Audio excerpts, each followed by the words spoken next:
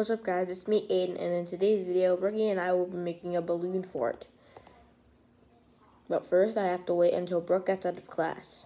And guys, make sure to like, subscribe, and turn on post notifications. One eternity later. I just ended class and now we can do the balloon fort, so let's get started.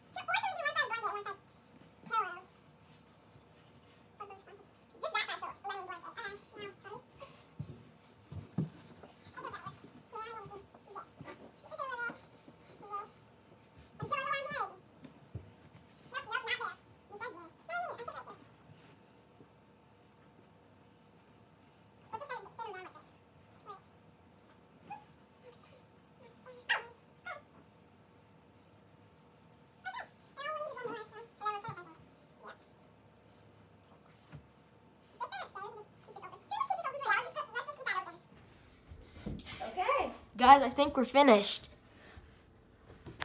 Okay, so let's give you a tour. First, we have the dining room. No, this is the only room. Well, yeah. And then also we have two seating areas. We have okay. the blanket here. Yeah. We have a kind of a small entry entrance room, but yeah, here's the entrance right here. Here's the pill pillows holding up the blanket. And we used the laundry basket as a table. Now all we have to do is put a little extra stuff. Okay, for the extra stuff, we put some Cheez-Its as a snack. I want to eat mine. Okay. And last but not least, we have our backyard with a giant balloon bush. And there's a few balls. Yeah. Well, they're balloon balls, but. And this is what it looks like right here. That's it for today's video. Make sure to like, subscribe, and turn, on post notifications. Bye.